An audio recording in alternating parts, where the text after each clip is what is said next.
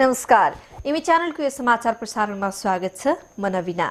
आज महाशिवरात्रि। पशुपतिनाथ सहित देशभरका शिवालयमा बिहानैदेखि दर्शनार्थीको घुइँचो लागेको छ।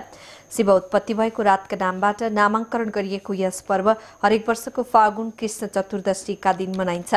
कालरात्रि मोहरात्रि सुखरात्रि र शिवरात्रि नामक चार प्रमुख रात्रिमध्ये एक पवित्र पर्वका रूपमा यसलाई पुराणमा व्याख्या गरिएको छ।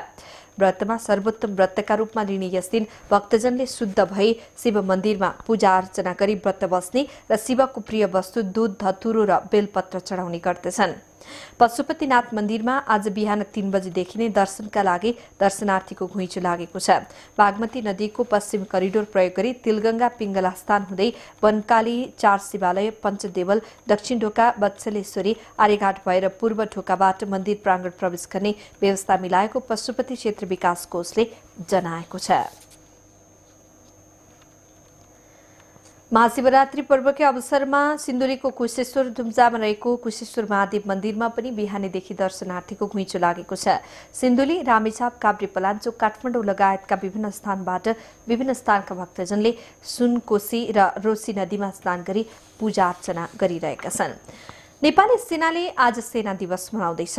यस अवसरमा नेपाली सेनाले दिउँसो सैनिक मञ्च टोली खेलमा विशेष समारोहको आयोजना गरेको छ। सैनिक मुख्यालय जङ्गी अड्डाले आयोजना गर्ने विशेष समारोहमा नेपाली सेनाका परमाधिपति राष्ट्रपति डाक्टर रामवरण यादव प्रमुख अतिथि हुनुहुन्छ। नेपाली सेनाले महाशिवरात्रिको दिनलाई सेना दिवसको रूपमा मनाउँदै आएको छ।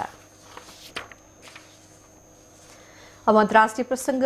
इजिप्टका राष्ट्रपति अब्दुल फतेह अल सिसीले लिबियामा कब्जा जमाई बसेका इस्लामिक आतंकवादी समूह आइएस विरुद्ध हस्तक्षेप गर्न अन्तर्राष्ट्रिय समुदायसँग अपील गर्नुभएको छ।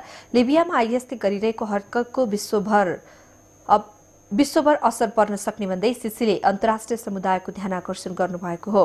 सेसीले फ्रान्सका राष्ट्रपति र इटलीका प्रधानमन्त्रीसँग टेलिफोन वार्ता गरी आइएस विरुद्धको अभियानमा सघाउन आग्रह समेत गर्नुभएको छ।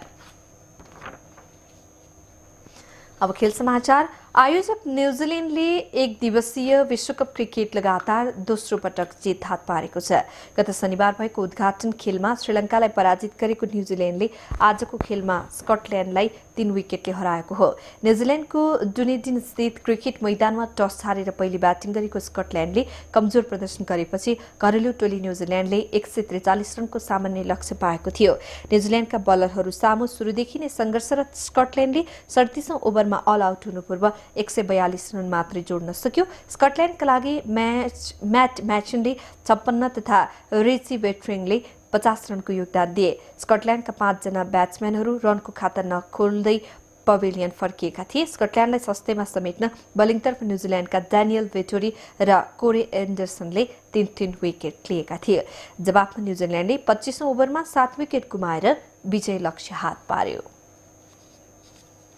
हवस् तिमी समाचार अहिलेलाई तिनै मे च्यानल टेलिभिजन हेर्दै गर्नुहोला। नमस्कार।